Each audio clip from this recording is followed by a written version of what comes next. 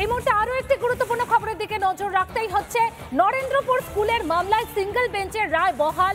Single বেঞ্চের রায় বহাল রাখল ডিভিশন বেঞ্চ।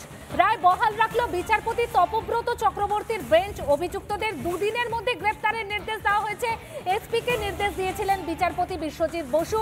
নরেন্দ্রপুর স্কুলের মামলায় সিঙ্গেল বেঞ্চের রায় বহাল। আমরা আবারও চলে যাব আমাদের প্রতিনিধি প্রিয়াঙ্কার কাছে। প্রিয়াঙ্কা, নরেন্দ্রপুর স্কুলের মামলায় সিঙ্গেল বেঞ্চের রায় বহালই রাখা হয়েছে।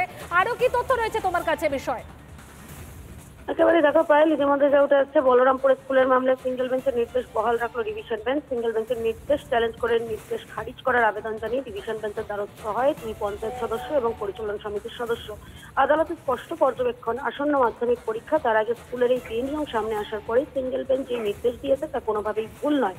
অভিযুক্তদের আইন স্পষ্ট বক্তব্য ছিল? সিঙ্গেল বেঞ্চ কোনোভাবে আমাদের বক্তব্য শোনেনি।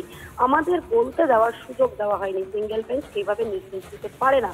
এবং তার পরবর্তীকালে আদালতের রায় ইতিমধ্যে উঠে এসেছে। প্রসঙ্গত করে রাখা প্রয়োজন, নরেন্দ্রপুরের বলরামপুর স্কুলের ঝামেলার ঘটনায় দুদিনের মধ্যে অভিযুক্তদের গ্রেপ্তার করার নির্দেশ দেওয়া হয়েছিল এসপিকে। নির্দেশ দিয়েছিলেন বিচারপতি বসু।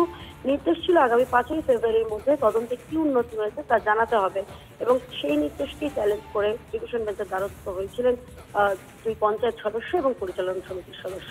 পায়েল ধন্যবাদ, প্রিয়াঙ্কা। এই মুহূর্তে আরও একটি গুরুত্বপূর্ণ খবরের দিকে নজর রাখতেই হচ্ছে। নরেন্দ্রপুর স্কুলের মামলায় সিঙ্গেল বেঞ্চের রায় বহাল। সিঙ্গেল বেঞ্চের রায় বহাল রাখল ডিভিশন বেঞ্চ। রায় বহাল রাখল বিচারপতি তপব্রত চক্রবর্তীর বেঞ্চ। অভিযুক্তদের দুদিনের মধ্যে গ্রেপ্তারের নির্দেশ দেওয়া হয়েছে। এসপিকে নির্দেশ দিয়েছিলেন বিচারপতি বিশ্বজিৎ বসু। নরেন্দ্রপুর স্কুলের মামলায় সিঙ্গেল বেঞ্চের রায় বহাল। আমরা আবারও চলে যাব আমাদের প্রতিনিধি প্রিয়াঙ্কার কাছে। প্রিয়াঙ্কা, নরেন্দ্রপুর স্কুলের মামলায় সিঙ্গেল বেঞ্চের রায় বহালই রাখা হয়েছে। আরও কি তথ্য রয়েছে তোমার কাছে বিষয়? একেবারে দেখো পায়েল ইতিমধ্যে যা উঠে আসছে, বলরামপুর স্কুলের মামলায় সিঙ্গেল বেঞ্চের নির্দেশ বহাল রাখল ডিভিশন বেঞ্চ সিঙ্গেল বেঞ্চের নির্দেশ চ্যালেঞ্জ করে নির্দেশ খারিজ করার আবেদন জানিয়ে ডিভিশন বেঞ্চের দ্বারস্থ হয় দুই পঞ্চায়েত সদস্য এবং পরিচালন সমিতির সদস্য।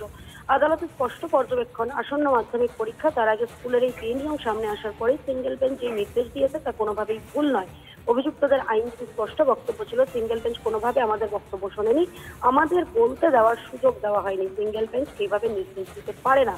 এবং তার পরবর্তীকালে আদালতের রায় ইতিমধ্যে উঠে এসেছে। প্রসঙ্গত করে রাখা প্রয়োজন, নরেন্দ্রপুরের বলরামপুর স্কুলের ঝামেলার ঘটনায় দুদিনের মধ্যে অভিযুক্তদের গ্রেপ্তার করার নির্দেশ দেওয়া হয়েছিল এসপিকে। নির্দেশ দিয়েছিলেন বিচারপতি বসু।